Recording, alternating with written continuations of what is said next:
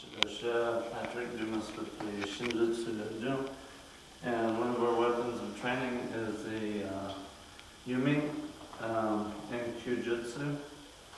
I'm just covering here the um, method that we do that uh, involves the versatility of how we move with the bow and arrow that you won't probably find anywhere else. Uh, it's part of the kyujutsu. And as you see, the ibiru, or quiver, that carries the ya, or arrows, is in front, or uh, zempo, ibiru, and yoko, ibiru would be to the side, okay? And then koho, ibiru, is in the rear. Now you might think, well, that's kind of unusual with it being on this side, but I can shoot from this side just as easily by drawing with my uh, my bow hand here, and then switching hands to here and going to here. Okay, so even if it's on this side, it doesn't matter. I'm not going to be limited by where the placement is of the uh, quiver with the arrows.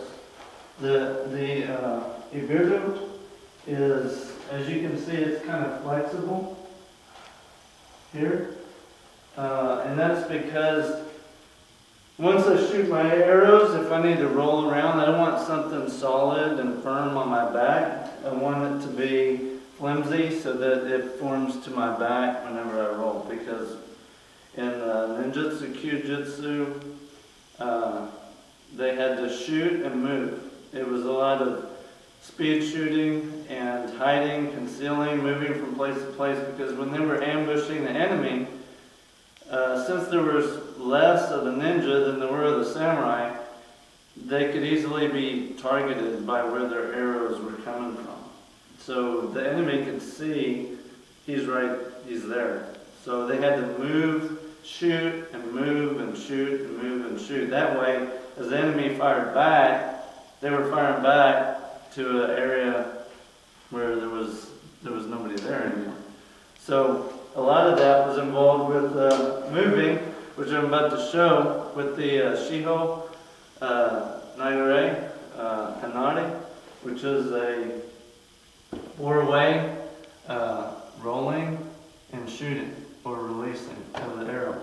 So the quiver's in front, the ibiru's in front, and I can either draw first here and already mount the arrow and go into my movement, which would be this way, here.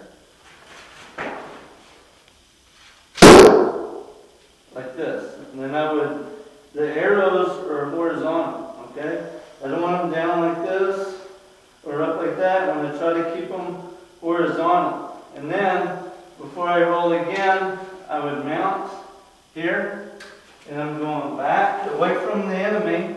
Now I got another enemy coming from this direction. I'm rolling to avoid his shot coming at me. I'm avoiding it.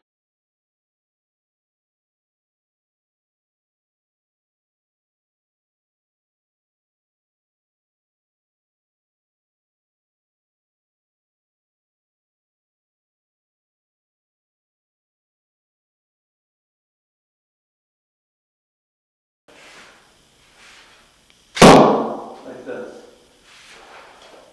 And then another one from this angle, here, okay? This way. I'm rolling, coming up, shooting. Here, I'm bringing it in, this way, like that. And then my, the uh, quiver, as you see here, it's wrapped around my body.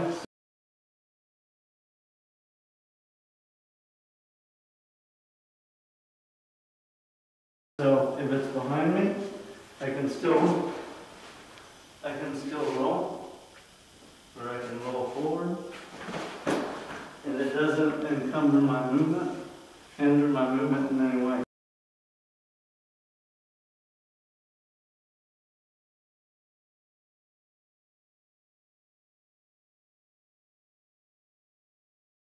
Or if I want to put it on my shoulder, this way, like that, so that's just an example of uh, being versatile in your movements on the ground with uh, our jujitsu.